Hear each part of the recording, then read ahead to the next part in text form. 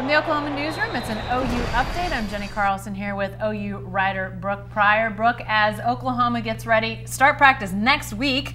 Obviously, a lot of attention on the Sooners, but I think a lot of Sooner fans are also interested in what's happening south of the Red River. They usually are. What's going on at Texas? Tom Herman, the new coach down there. You got a chance to spend a little time with him at Big 12 Media Day. Who is this guy? Who who can Sooner fans expect to see on that Texas sideline?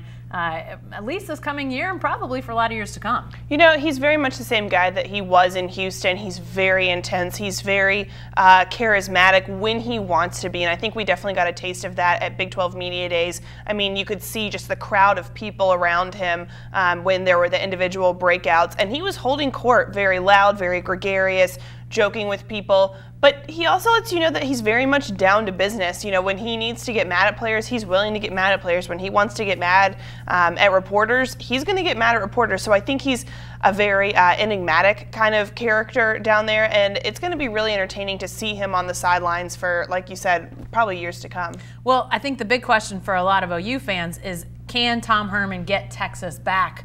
To the level where the Red River rivalry, potentially the Big 12 championship game, holds some pretty high stakes, stakes between OU and Texas. I know we can't answer that question here, but uh, early returns have been pretty positive, at least on the recruiting trail. What are we hearing about his fingerprints on Texas football? You know, from the sounds of it, it seems like when he came in, he let the players know that he was very much going to be down to business very early on. You know, talking to the, the Texas representatives that were at Media Day, they said that first meeting he came in and he kind of laid down the law, and it was a shock to the system. And since then, he's had this kind of parental type of love, type of development with these guys, um, very much nourishing them um, and, and being the, the dad figure, the father figure of this program where he will be super nice to them one minute and, and kind of nurturing them along and then turn around and if they do something wrong or if they step out of bounds, something that he doesn't like very much, he's more than willing to say, you know what, this is not okay. Um, there's an incident, PJ Locke, one of the DBs, left a water bottle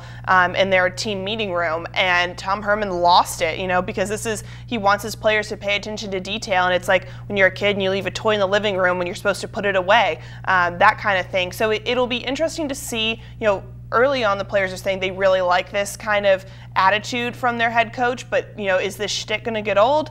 That's what I think will be interesting, and we'll have to see develop through this season and through the seasons to come. Yeah, and I guess the, maybe the, the big question too. I mean, you can you can develop some of those things in your players, but once they get out on the field, can they keep up? Do they have the speed? Do they have the playmakers? Do they have a quarterback? I mean, I know that maybe is not speaking to who Tom Herman is, but he's going to have to get a lot out of some guys that a year ago did not play very well. Exactly. I mean, just getting a new head coach isn't necessarily going to fix all of Texas's problems. Um, like you said, there's still some serious um, lack of or holes in this roster that they're going to need to fill. Um, like you said, the playmaker card is going to be one of the biggest ones that they've got to kind of figure out. I think Tom Herman is in a good position to get the most out of his players, but you just have to see how that's going to translate this fall. Yeah, we thought Charlie Strong was in a good place to get a lot out of his players too. We know how that worked out. All right, lots of yet yet to be seen down in Austin, but Brooke will have a big story on Tom Herman in the Wednesday Oklahoman. Be sure to stay with the best coverage team anywhere at newsok.com and every day in the Oklahoman.